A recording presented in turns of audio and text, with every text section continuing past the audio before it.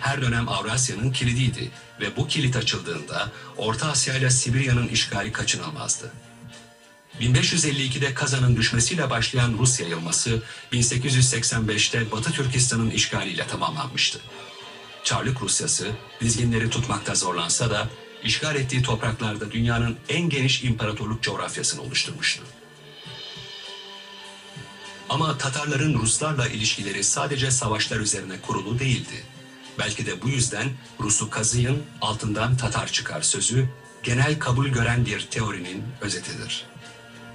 Tatarların Altın Ordu döneminde ve ardından Kazan ve Kırım Hanlıkları sürecinde Kiev ve Moskova ile ilişkileri her alanda gelişmişti. Rus prenslikleri knez ünvanları yerine han ünvanı kullanmış, asil sınıf Türkçe bir sözcük olan beyden devşirme boyar ünvanıyla anılmıştı. Yine Bogatyr olarak bilinen Slav kökenli şövalye ve süvariler için bu isim Tatarların cesur savaşçılarını tanımlamakta kullandığı Bahadır sözcüğünden alınmıştı. Rus prenslerinin başlarına taktıkları taçlardan, giydikleri kıyafetlere, kilise mimarisinden ticaret yapma şekillerine kadar Tatarların etkisi altında kaldığı bir gerçek.